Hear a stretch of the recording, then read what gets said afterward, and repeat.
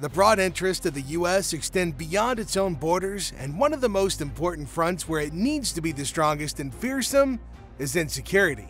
Like the British Royal Navy more than a century before it, the US Navy has a command of the sea that affords the United States unrivaled international influence. But the purpose of these aircraft carriers extends beyond security, because the real reason that they seem to be everywhere will surprise you. In warfare, firepower reigns supreme. And when it comes to delivering that firepower, nothing compares to an aircraft carrier. Think of the Gerald R. Ford and Nimitz class carriers as the apex predators of the battlefront. These giants can unleash up to 125 strike sorties per day during peak operations, each capable of engaging multiple high value targets. No other platform, whether it's air based, land based, or even another sea vessel, comes remotely close to the raw firepower these behemoths bring to the table. But here's where it gets even more jaw dropping. These carriers are practically self sufficient war machines. With their at sea reload capabilities and massive storage of munitions, they can keep the pressure on for extended periods without needing to return to base. Whether it's launching devastating airstrikes, securing air superiority, or hunting down submarines, the aircraft carrier is a relentless force that can change the tides of battle in an instant. What makes them even more terrifying? They're mobile.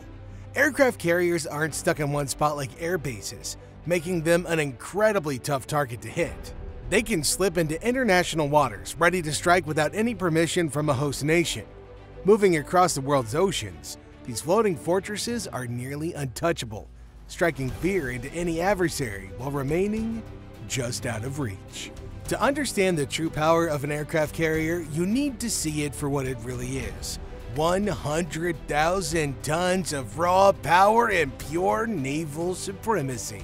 This isn't just a floating airfield, it's an evolving weapon a juggernaut of modern military strategy that's been adapting since its creation in the early 20th century. And now, as China's vast A2AD or anti access area of denial defensive network rises, these carriers are forced to sharpen their edge even further. But let's be real China's network sounds like a knockoff robot from Star Wars, doesn't it? These colossal vessels have taken on six pivotal roles over time, each one crafted from the ever changing landscape of warfare. First up, the role of being the eyes of the fleet.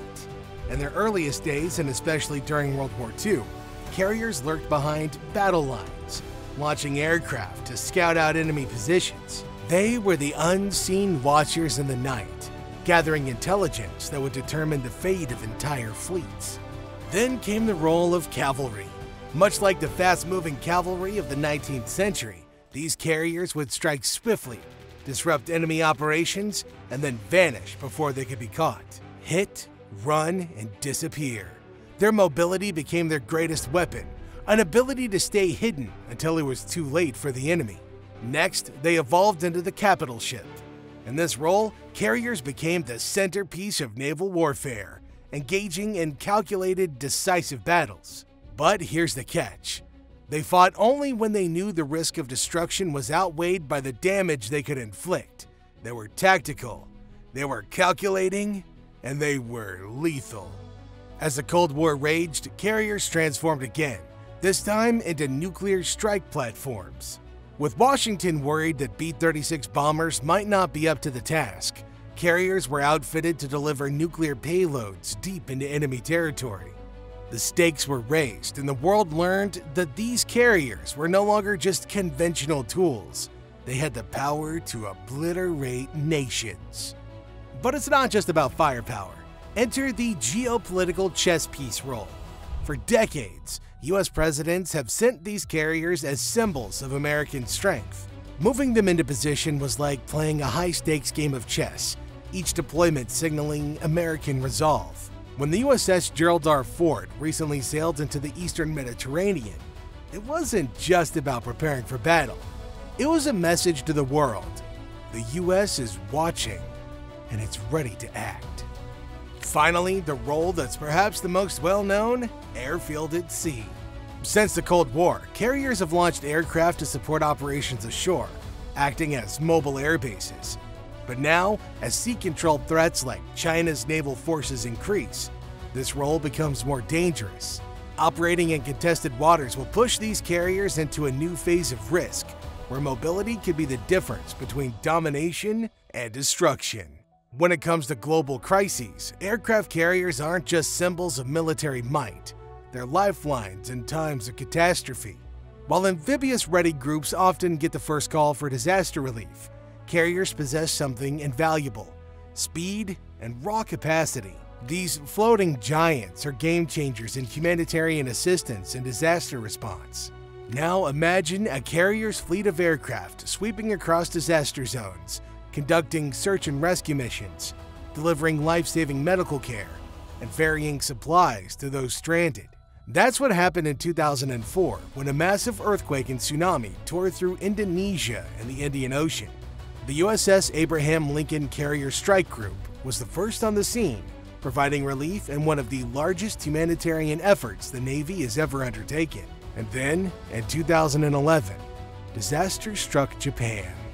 After the earthquake and subsequent tsunami wreaked havoc on the Fukushima nuclear plant, the USS Ronald Reagan served as a floating base, helping deliver critical supplies and fueling rescue helicopters for weeks. These are just a few examples of the unmatched versatility aircraft carriers bring to the table. Now let's switch gears. In a world that's becoming increasingly chaotic and unpredictable, the U.S. Navy's readiness is more critical than ever. This year's Hook Symposium theme, Be Ready, couldn't be more on point. We're no longer living in the peaceful post Cold War era that some predicted. Instead, we face a landscape where nations like China, Russia, Iran, North Korea, and violent extremists pose constant threats.